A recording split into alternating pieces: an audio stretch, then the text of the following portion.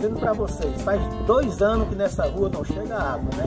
Para a gente contar a real situação da coisa, a gente está preparando uma novidade para a gente postar a bastante logo mais. Você vai acompanhar tudo, mas dois anos que nós não chega água nessa rua, mas as autoridades não tomam providência, mas a gente paga a conta, beleza?